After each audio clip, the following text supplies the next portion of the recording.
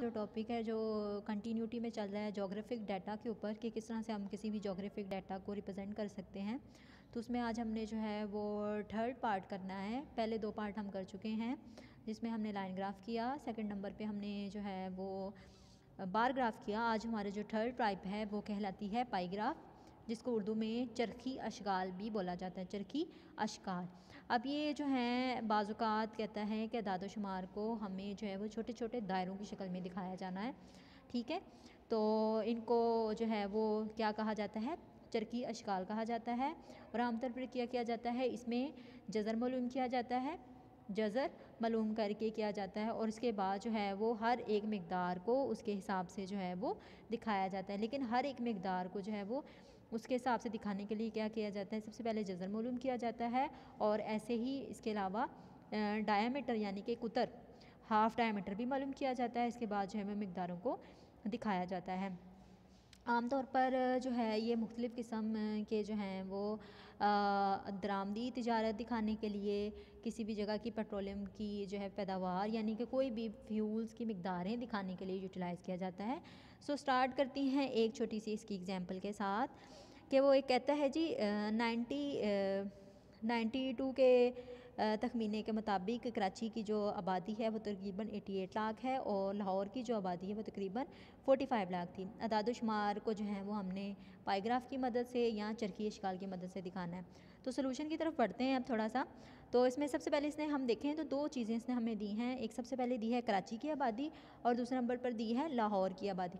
कराची की आबादी जो है, वो तकरीबन 88 लाख बताता है जबकि लाहौर की आबादी जो है वो 45 लाख बताता है। ये दोनों चीज़ें हमने निकली देन हमने क्या निकालना है? इसका जज़न निकालना है। जज़न निकालने का मतलब क्या होता है? जिसे अंडर रूट भी बोलते हैं। ये आपके कैलकुलेटर के अंदर एक ऑप्शन होता है।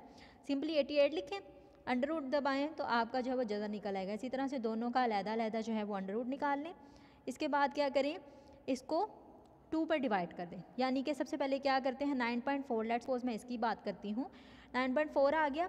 इसको अब क्या करना है? नाइन पॉइंट फोर को टू से डिवाइड करना है। सबसे पहले क्या करना है? एटी एट लैख का हमने निकालना है जज़र, जो कि निकला नाइन पॉइंट फोर के करीब।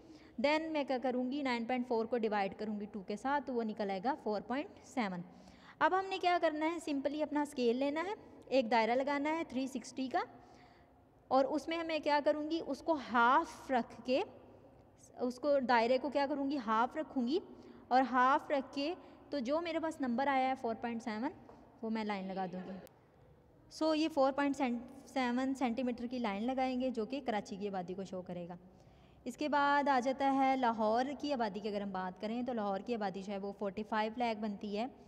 उसका जज़र निकालें तो तकरीबन बनता है सिक्स पॉइंट सेवन के करीब। और वही बात दो पर हम तकसीम करेंगे। और दो पर तकसीम करने से 3.35 सेंटीमीटर की जो है वो लाइन आएगी। वही क्या करेंगे? सिंपली आप एक दायरा लगाएँ, ठीक है? और उसमें हाफ़ रख के आपने 3.35 सेंटीमीटर की जो है वो लाइन लगा देंगे, ये आपकी लाहौर की आबादी को शो करेगा। इससे आपको क्या समझ आ रही है? अब इट डिपेंड्स आप अगर देखें, इन दो दायरों में फ़र्क है। ये फ़र्क इसलिए है कि कराची की आबादी जो है वो ज़्यादा है डबल है, अगर आप कंपैरिजन करें, लाहौर की आबादी के साथ 45 फाइव लेगा।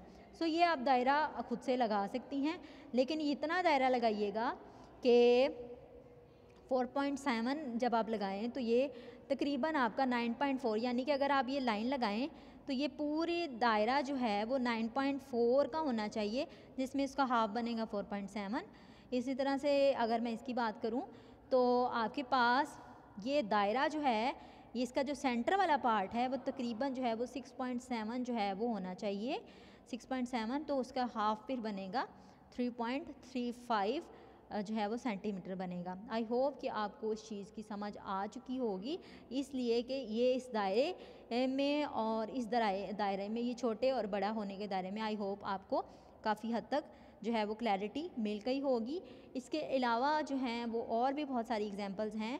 जो हम करेंगे ये तो एक बहुत बेसिक आपके को मैंने एग्जांपल बताई है जो हमने करनी है। इसके अलावा एक और एग्जांपल है जो हम करेंगे, जिसमें अब आपने क्या करना है, पूरे जो हैं वो पाकिस्तान के सूबों की आबादी को जो है वो दिखाना है।